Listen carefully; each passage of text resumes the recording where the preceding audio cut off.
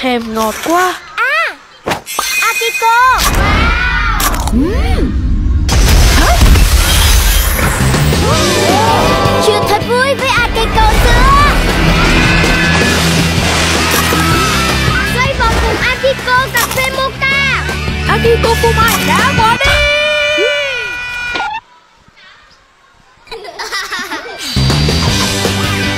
Akiko, ngọt tưng bừng, vui không ngờ?